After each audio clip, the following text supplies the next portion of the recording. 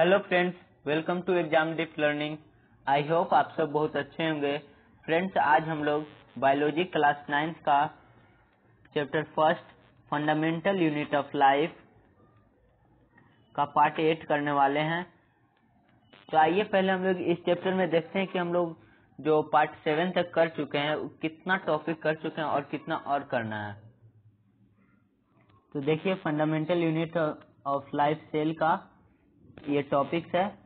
इसमें हम लोग यहाँ से इवेंट्स रिलेटेड टू साइटोलॉजी से लेकर मिटोकॉन्ड्रिया और इसके आगे और है friends events related to cytology what are living organism made up of instrument for studying cell structural organisation of a cell plasma membrane cell wall nucleus types of cell prokaryotic cells eukaryotic cells cytoplasm cell organelles endoplasmic reticulum Golgi apparatus lysosomes यहाँ तक और भी आगे topic तक हम लोग कर चुके हैं और आगे देखते हैं। मिटोकॉन्ड्रिया प्लास्टिड्स प्लास्टिड्स तक यहाँ तक हम लोग कर चुके हैं फ्रेंड्स तो हम लोग का बचा अब इतना तीन टॉपिक तीन चार टॉपिक ये है वैक्यूल्स आज हम लोग क्लियर कर लेंगे। उसके नेक्स्ट जो टॉपिक आएगा पार्ट नाइन उसमें हम लोग एनिमल सेल प्लांट सेल कर लेंगे और उसके बाद जो आएगा सेल डिवीज़न एक और जो पार्ट नंबर टेन आएगा, उसमें सेल डिवीज़न और क्विक रिवीजन भी हम लोग इस चैप्टर का कर लेंगे, फिर मल्टीपल चॉइस क्वेश्चन भी करेंगे। चाहिए आज का वीडियो शुरू करता हूँ और वैक्यूल से शुरू करते हैं। Class nine fundamental unit of life part eight vacuoles तो सबसे पहले हम लोग यहाँ पे वैक्यूल्स का डिफिनेशन जानेंगे। वैक्यूल्स होता क्या है, उसे हम लोग समझेंगे। फ़र्स्ट पॉइंट है इसका। Vacuoles are membrane bound for storage of solid और liquid content vacuoles friends membrane bound होता है, जैसे ये वैक्यूल्स है सर्कल टाइप का। तो इसके आगे एक मेम्ब्रेन है तो ये जो है ये मेम्ब्रेन बाउंड है, ये वैक्यूल्स का। ये स्टोरेज के लिए जो सॉलिड लिक्विड में स्टोरेज होता है, हम लोग के सेल में वैक्यूल से कंटेंट करता है इसे। नेक्स्ट पॉइंट है वैक्यूल्स का।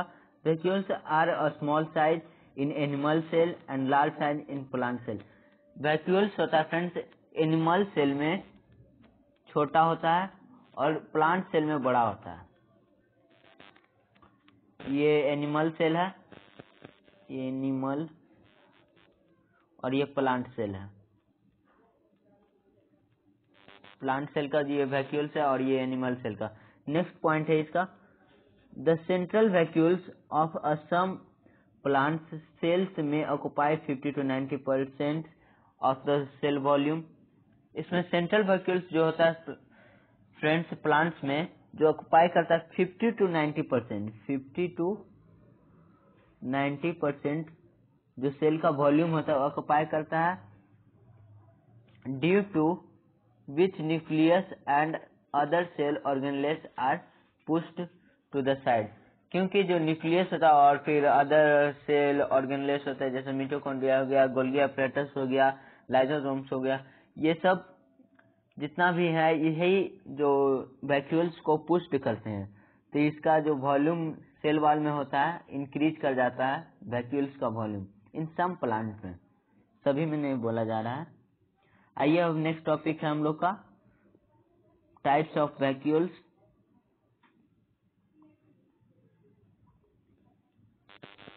types of vacuoles में हम लोग वैक्यूल्स का फोर टाइप्स होता है। फ़र्स्ट है सेफ़ वैक्यूल्स सेकेंड है कॉन्ट्रेक्टाइल वैक्यूल्स और थर्ड हम लोग का फ़ूड वैक्यूल्स और फोर्थ है गैस वैक्यूल्स तो इन चारों को हम लोग डिटेल में पढ़ने वाले हैं।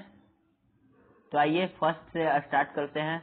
तो फ़र्स्ट वैक्यूल्स है सेप वैक्यूल्स इसका फ़र्स्ट पॉइंट है these are the most common types of vacuoles ये मोस्ट जितना भी कॉमन वैक्यूल्स होता है, जितना भी वैक्यूल्स फोर तरह के ये सबसे कॉमन वैक्यूल्स है sap vacuoles they contain cell sap cell sap sap से ही पता चल रहा है नेम से इसका कि ये सेप को कंटेंट करते हैं।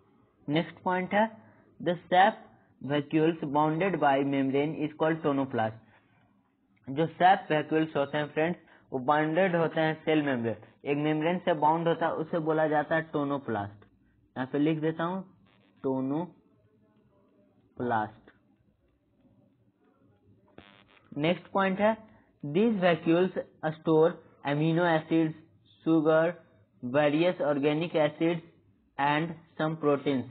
Fat vacuoles amino acid को कंटेन करता है शुगर को कंटेन करता है various organic acid and proteins को भी कंटेन करता है नेक्स्ट पॉइंट हम लोग का they provide turgidity and rigidity to the plant cell and are also required absorption of water ये प्रोवाइड करता है सेल को टर्जिडिटी और रिजिडिटी प्लांट सेल को प्रोवाइड करता है। रिक्वायर्ड ऑब्जॉर्प्शन जो वाटर को ऑब्ज़र्व प्लांट सेल को ऑब्ज़र्व करने का कैपेसिटी होता है, वो सेफ़ वैक्यूल्स में ही होता है।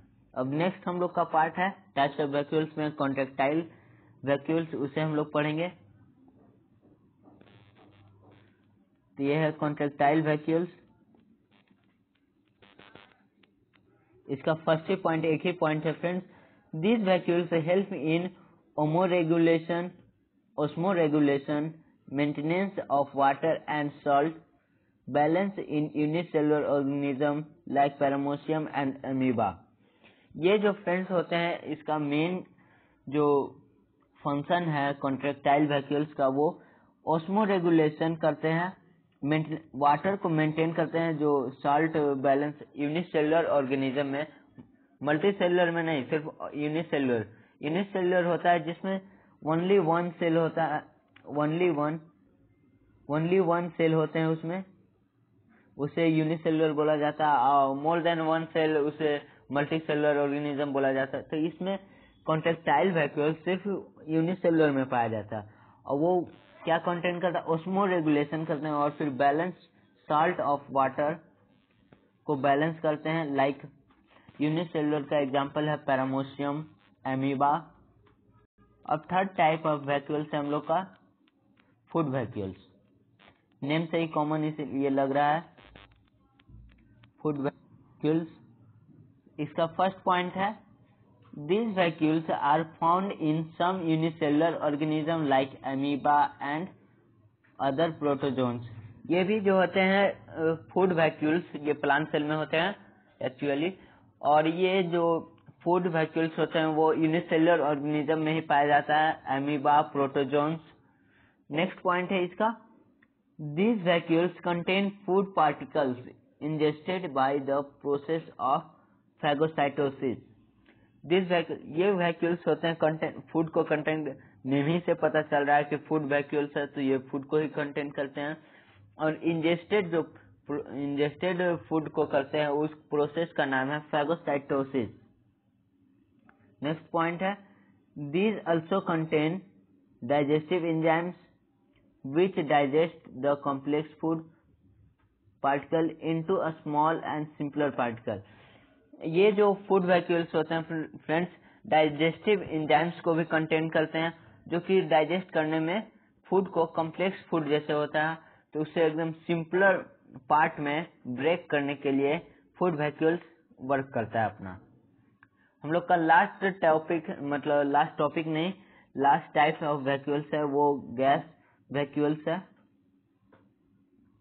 इसे हम लोग पढ़ते हैं पहले।